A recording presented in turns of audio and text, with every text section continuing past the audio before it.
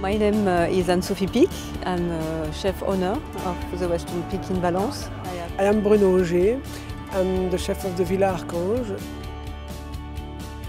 Today we're hosting an exclusive preview of the opening gala menu with two of Electrolux's partner chefs, Anne-Sophie Pic and Bruno Oger, who have five Michelin stars between them.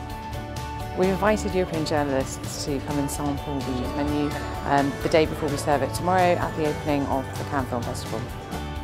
My cuisine is, uh, is French, of course. I, I, like to cook French because I have been taught by, by all the generations. But I think it's modern cuisine too, but with a French touch. Bruno and I, we decided to, to cook, of course, seasonally. And uh, we accommodated very well because he knows my cuisine very well and I know his cuisine uh, very well too. We have to try to make something special always at the movie festival. Because for me, it is uh, the, the, biggest dinner in France uh, for the year.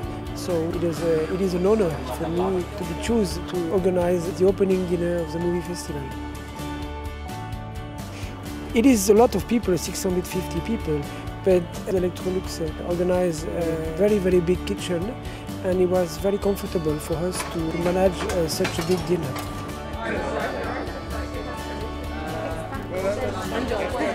Electrolux got us this fantastic menu which we kind of got to experience, which seems a bit out of this world, really.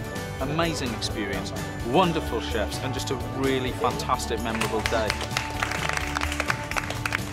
Simply, I hope people uh, will enjoy uh, what we, we, prepared for, for them. If I, if I see uh, Mr. Spielberg, Mr. Jacob, Mr. Frémaux smile, then we will be happy.